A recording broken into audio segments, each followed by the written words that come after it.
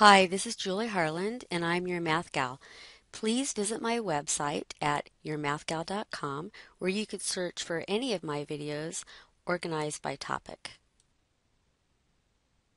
This is part two of graphing absolute value functions, and we graph and state the vertex, domain, and range for these two problems.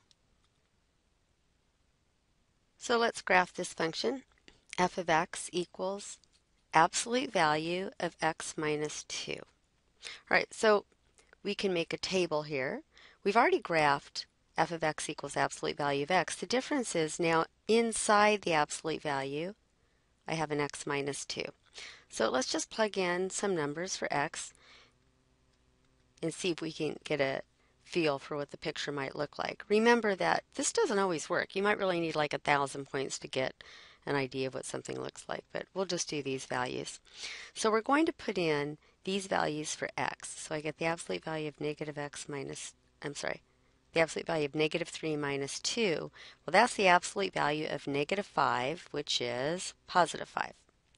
So that gives me an ordered pair, negative 3, 5. So we have negative 3, 5, about right here. All right, now we'll put in negative 2 for x. That gives us the absolute value of negative 4, which is positive 4. So we've got the order pair negative 2, positive 4. About right here. Next we'll put in negative 1. That gives us the absolute value of negative 3, which is positive 3. So we have negative 1, 3. We'll put in 0 absolute value of negative 2 is 2. Right? Put in 1. We have absolute value of negative 1, which is 1. Oops, what did I do wrong here? 0, 2, oh, it's right, 1, 1. And I'm putting in 2. That's absolute value of 0, which is 0 this point here. Put in 3. So, so far I can't tell this is an absolute value. It looks like it's a line, but it's not. You know absolute value ends up looking like a V. So absolute value 3 minus 2 is 1. So I have 3, 1. Ah, there's where it starts going up again. So it looks like this point right here is the vertex. And if we just do a couple more, or at least one more, for 2, yeah, it's going back up here. The question is, how do you know this is the vertex? Basically, if you have two ordered pairs on the same horizontal line, then right between them is where that sort of mirror image axis is. You could think of it this way. So that is, so the vertex has to be on there. And so actually, this is the vertex, 2, 0. Right, so it asks for the domain, the range, and the vertex. Right, remember the domain's always all real numbers for absolute value function. The range, all right, so what values is y taking on? It doesn't go below the x-axis, but so in other words, the lowest y value check it out, is the y value of the vertex. If it's going up, that's the lowest y value. So it is going between, starting at the lowest point of 0 and going to infinity. And the vertex point is 2, 0. So what happened, what looks different about this in the graph of y equals absolute value of x is the whole shift is 2 to the right. Okay? Hopefully this is looking familiar if you've done parabolas again. There's going to be a shift. The whole graph is shifting two spaces to the right. Because remember, if I do in green absolute value of x, it looks like this. That's y equals absolute value of x. Oops, not a parentheses. So this graph of, and I'm going to write this as y. Remember, you could write or y equals f, y, or you could write f of x. So all of the ordered pairs are shifted two to the right basically to get this graph. So here's our answer. Let's see if we could think uh, think about this um, without having to go and put in all these ordered pairs now. So here's one way of figuring out the vertex. You could say, well, what's the lowest point on this graph? So you've got the absolute value of something. So in other words, absolute value of x, what's the smallest number then that can uh, this could be? So the absolute value of x is always going to be greater than or equal to 0. So when you evaluate it, the smallest number it can be is 0, right? If you take the absolute value of something, the smallest number it could be is 0. And that would only be when whatever's inside is 0, okay? So that's your question. When is the part inside 0?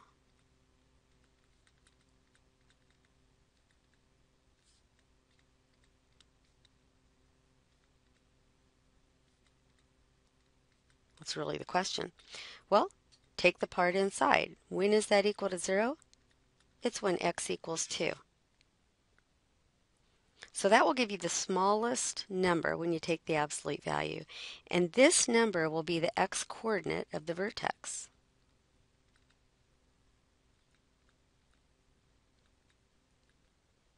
Okay.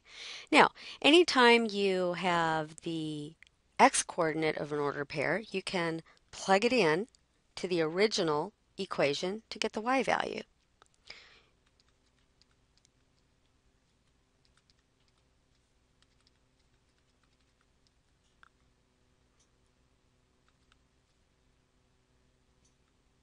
I'm going to write it like this.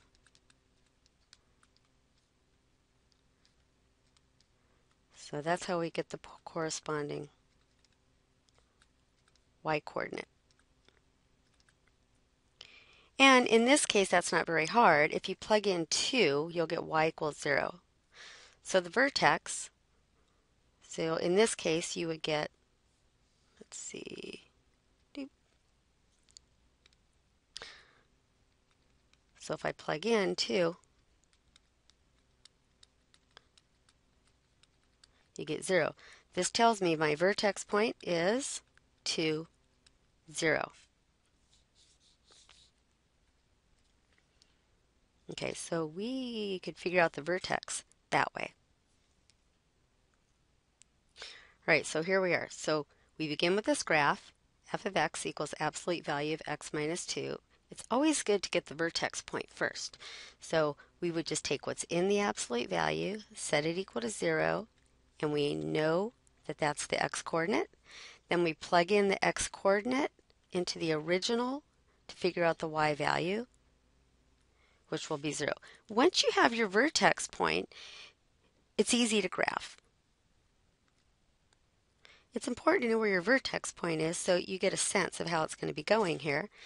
And there's kind of a symmetry on either side of this line. You don't need to dot in this line, but it means if you get one ordered pair on the right hand side, you'll have an ordered pair on the other side. So you could just plug in any number you want for x. So you can make a shorter little table if you want or do this in your head.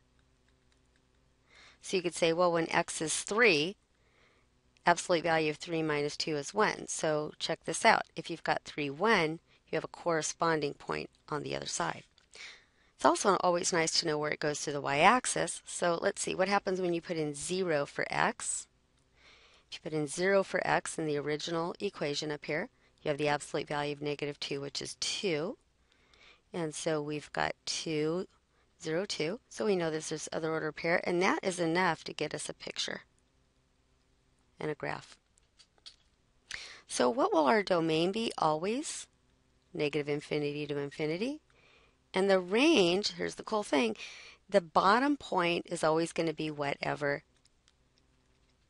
the x, I mean, I'm sorry, the y value is. Think of the range as the y value. If it goes up, that's going to be the top. This is, so far we've only done um, problems where it goes up. We will do some that go down, but all you have to do is look at the y coordinate of the vertex. That's going to be the bottom point in this case since it goes up. See, I didn't want to switch to green. So bottom, 0 up through infinity. So there's the quick and easy way to get the vertex, the domain and range, and graph it. So here's one for you to try.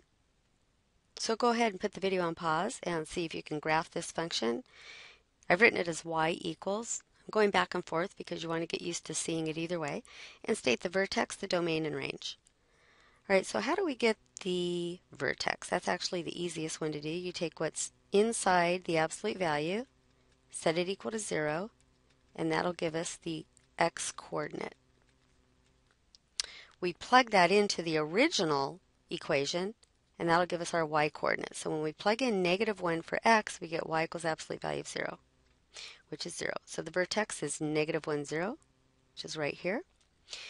And we know it's going to have a V shape, right? That's where the vertex point is. We could plug in another number. So how about like we plug in 0 for x?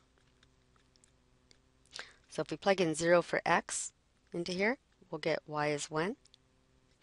If we plug in 1 for x, we're going to get y is 2. And then there's these corresponding points on the other side, and we've got our graph. So last thing, domain, always the same.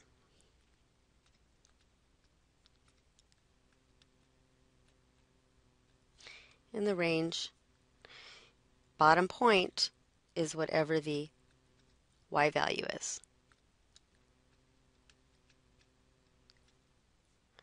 Okay, I'm not going to summarize yet because we're going to do some problems where we might have a plus k on the next video.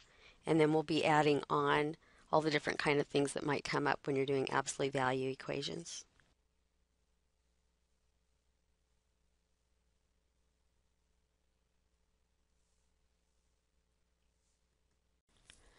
Please visit my website at yourmathgal.com where you can view all of my videos which are organized by topic.